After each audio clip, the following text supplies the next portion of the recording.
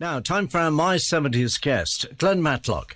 He made his name as part of the Sex Pistols in the 70s, but his short tenure in the band is only a small part of his musical career. He had a big hand in writing much of the music on the Sex Pistols album and it was sidelined by the arrival of Sid Vicious. He wasn't really getting on with Johnny Rotten, I don't think, and Malcolm McLaren said we had to fire him because he likes the Beatles, which was a complete load of nonsense but Malcolm McLaren knew how to do a quote and get some publicity.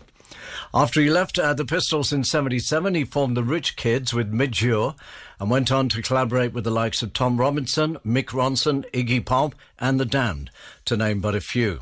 He's recently released a solo album called Consequences Coming.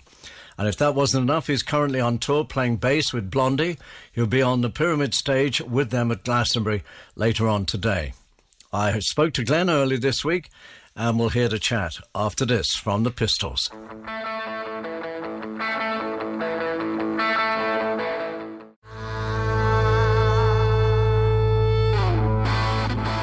Johnny Walker on Sounds of the 70s. A very good afternoon to the original bass player of the Sex Pistols, Glen Matlock. Uh, Glen, how are you doing? Not so bad, Johnny. How are you? I'm very well, thank you.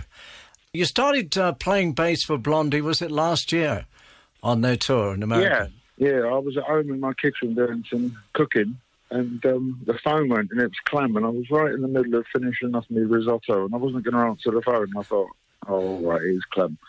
He said, what are you doing? I said, I'm cooking.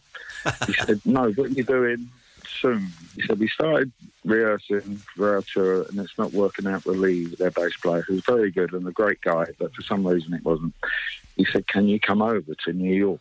And I said, When? What, like a couple of months? He said, No, next Tuesday. And I was like, Ah. so I went over and had a meeting with him. And the next thing, we come back here. And the first gig I did with them is at SCC in Glasgow.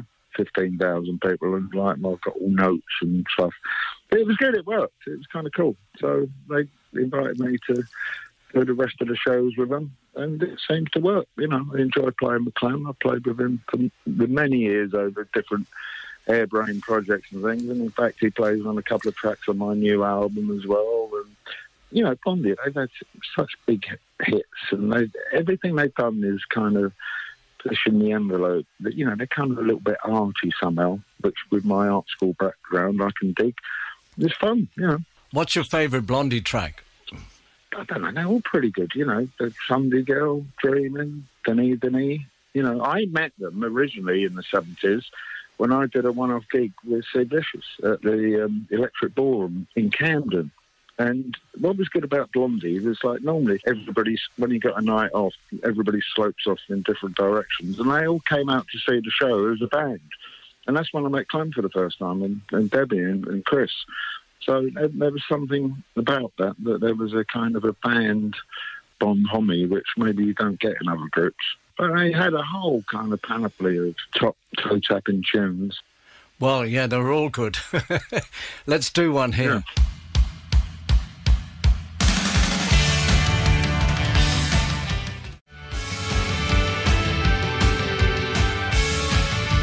That's Blondie and Dreaming, and the current bass player with Blondie is Glen Matlock.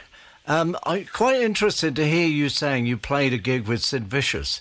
So there were no hard feelings then that he took your place in the Pistols? No, my time had been and gone by that time. I wasn't happy with the way some of the things were going on and stuff. And then me and him were supposed to be um, arch enemies, and we weren't really. I like that thing in the Fast Show, you know, Harry Enfield and Paul Whitehouse, and there's two blokes sitting around in a pub and Harry Enfield says, well, if that's what you want, that's what's going to happen. And I could see exactly what would happen if they got Sid in the band.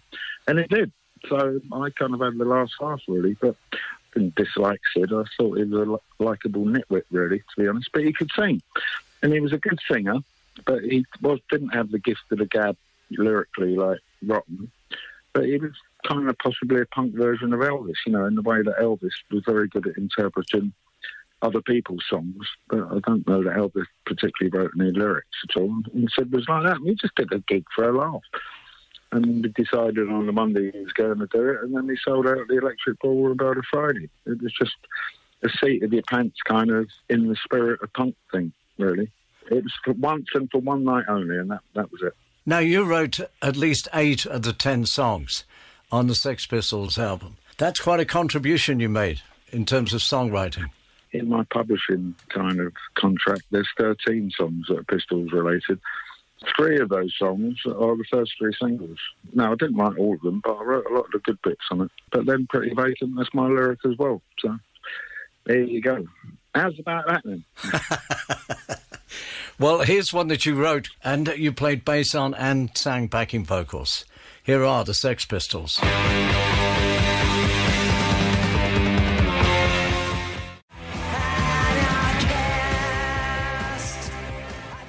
Anarchy in the UK, and the guy who wrote the song played bass and did backing vocals is our guest this afternoon, Glen Matlock. So you did the Isle of Wight the other night with Blondie. How was that show? It went well. It went very good. It was a, shorter set. You only get to do an hour at these things. I mean, Debbie's really on form. They kind of got a newish guitarist. Uh, Chris Stein can no longer tour. They got a new guy called Andy Blacktree, who is fantastic. It's kind of like regenerated the band. And are you looking forward to playing at Glastonbury? Yeah, you know, a gig's a gig. We've been really busy this year already. In Miami, we went to Bogota in Colombia, played in Mexico City. We was in California. We did um, Coachella. Nile Rodgers got up and did a couple of songs with us, so that was a blast you know, it's another gig, but it is Glastonbury. I'm quite excited because on the stage we're on, just before us, is Cat Stevens. Now, I've never seen Cat Stevens live, but I did see him a couple of years back in my local garden centre, and I was going to introduce myself to him, but his phone rang and he was deep in conversation on his mobile for about half an hour, and I thought, oh, I'll go to B and Q and get the plants a bit cheaper instead. But yeah, I'm looking forward to seeing Cat Stevens. And apart from all this work with uh, Blondie and other things, you've made a new album, Consequences Coming. Yes. I started making it just before lockdown happened, and I put it on the back burner for a while, and then I kind of revisited it. You know, it's out. I've had nothing but good reviews for it. I'm proud of it. it's something for everybody. Well, it's called Consequences Coming by Glen Matlock, who will also be playing at Dog Day Afternoon, and that'll be uh, on the 1st of July with Iggy Pop. That's right, yeah. And and Steve and Paul, who Generation Sex with Billy Idol and all that, and they're quite funny is they're going on before Blondie, so I'll have a little giggle about that. But I'm sure tea, tea and biscuits will be taken backstage. Good. Glen, thanks for your time this afternoon. All the best. All right, Charlie. Thanks. Cheers now.